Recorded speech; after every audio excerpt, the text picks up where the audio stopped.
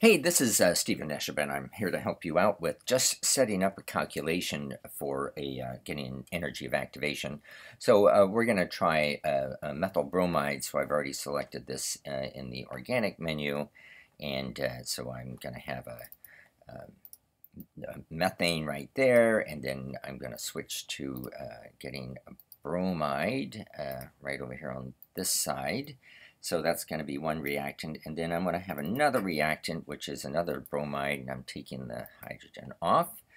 And that's fine. It's more or less lined up the way I want it to do, but um, the way uh, uh, it's recommended to do this is to guess the transition state. So what I'm going to do is I'm going to click on this bromide and then click on um, this carbon.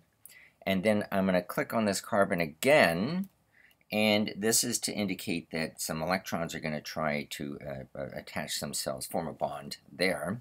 I'm going to do that again. I'm still in this make transition state mode, but now I'm going to click on this bond and click on that oxygen, uh, uh, bromine, and then do that. Okay, so now I think I know where the electrons are going, and as you will have seen that there's this guess that search for transition state appears there.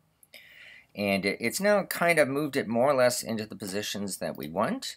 And uh, I'm going to do one more thing, which is go to this uh, constrain, um, constrain positions, uh, uh constrain uh, distance, and uh, I'm going to do two distances. So this one to this one, and I'm going to click on this, and I want a profile, and um, and I'm just going to enter a starting distance here and uh, I have to remember what that starting distance is. So that I want it to be the van der Waals distance of 3.53 and then 1.94. So 3.53, which is already about there, 53, and uh, 1.94 for that distance, okay.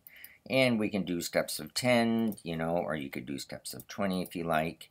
Um, and uh, the, uh, the, um, there will be another distance that I want to constrain here, uh, which is, I'm going to click on that bond. You can, you can do that too.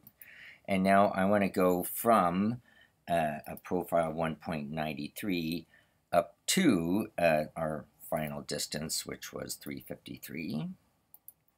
So up to 353.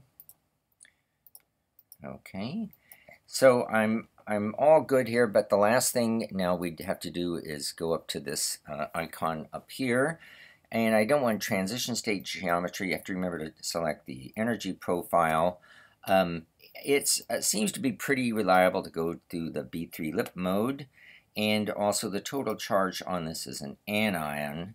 And, uh, and so that's, that's how we go. And uh, then you will just submit there and after that we can talk about how to analyze the results.